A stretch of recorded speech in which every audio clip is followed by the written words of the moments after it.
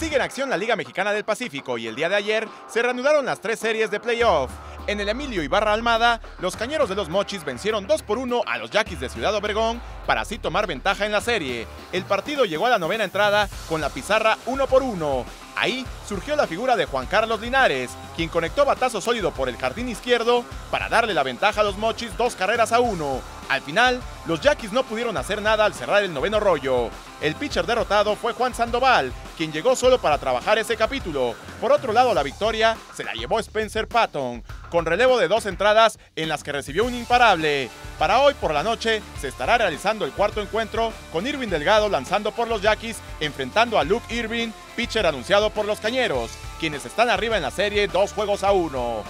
En el Manuel Ciclón Echeverría, los Mayos de Navojoa se pusieron en la pelea ante unos venados de Mazatlán que no pudieron ante los disparos de José Ollervides, quien trabajó de manera espectacular durante seis entradas y un tercio, donde solo recibió dos imparables, otorgó tres pasaportes y ponchó a 11 enemigos para guiar a su novena al triunfo de cinco carreras a uno. A la ofensiva, Nate Embrick anotó una carrera y produjo dos más, para de esta forma poner la serie 2 a 1 a favor de los Venados, quienes este día pondrán a lanzar a Milcar Gaxiola contra el zurdo Jorge Luis Castillo. En el último encuentro de esta primera ronda de playoff de la Liga Mexicana del Pacífico, los Águilas de Mexicali se pusieron a una victoria de pasar a la siguiente ronda. Los dirigidos por Edgar González terminaron haciendo las cosas mejor que sus rivales, los Charros de Jalisco, quienes no aprovecharon la localía y terminaron cayendo cuatro carreras por tres con una gran actuación de Marco Duarte, quien se mantuvo intratable en la doma de dos disparos por siete entradas completas, con solo cuatro imparables recibidos, un pasaporte y siete chocolates, colgando solo roscas en la pizarra,